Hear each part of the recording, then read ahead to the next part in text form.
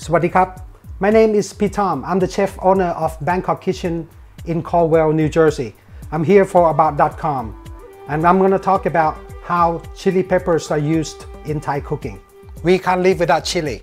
Thai people love spicy stuff, so I will show you a few uh, chili that are commonly used in Thailand. We have uh, bird's eye chili, which is used mostly in making dipping sauce, which is right here. I'll show you quickly how to make the dipping sauce. Prepare a little bit. There's chili in here and garlic. Just crush it up a little bit like this.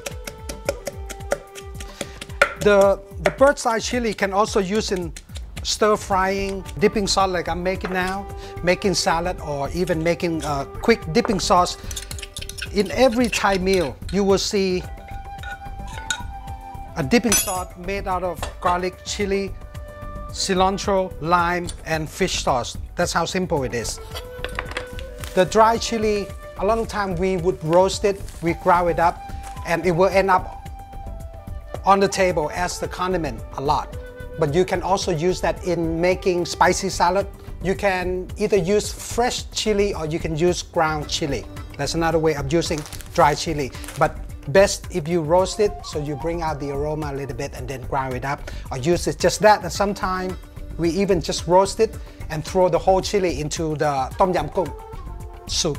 And another way to use chili in Thailand is to make a sweet and spicy chili paste out of prik kee noo, bird's eye chili, the Thai famous prik kee noo, by roasting chili, uh, herbs like shallot, uh, garlic with oil, vinegar, sugar, and uh, chili. Then you grind it together and then this is what you get.